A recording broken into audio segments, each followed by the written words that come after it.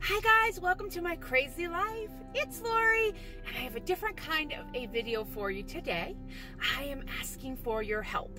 So I ride, and I've mentioned before, in a ride called Pelotonia. It's a bicycle ride. It takes place every year in August. Um, and we raise money for cancer research. 100% of the money raised goes to the James Cancer Hospital here in Columbus at the Ohio State University. And they do research, they fund students. It's a wonderful, wonderful thing. Um, in 2017, my mom was treated there for her cancer. Actually, 2016, she passed away in 2017. There's my mama. Um, but I've been riding since 2011. Yeah, 2011.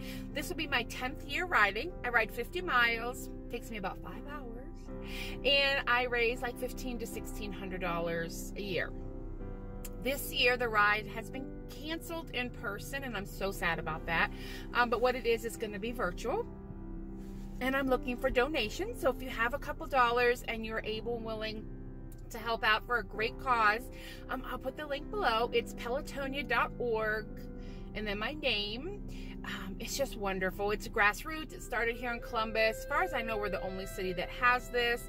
Um, last year, I think the riders, there was about eight to 10,000 of us, and we raised $24 million that just they write a check and hand it over. So I'll be talking about it intermittently throughout the summer. Um, I got to get on my bike. I'm still going to ride and train, but there will be no sadly there'll be no ride this year um, which breaks my heart i mean it's it's Pelotonia and cancer research. My dad passed away from cancer. My stepfather died from cancer. My mom died from cancer. It's it just means a lot to me and I know that a lot of you have been touched by cancer in your lives and if you are willing and able to help, I would appreciate it so much.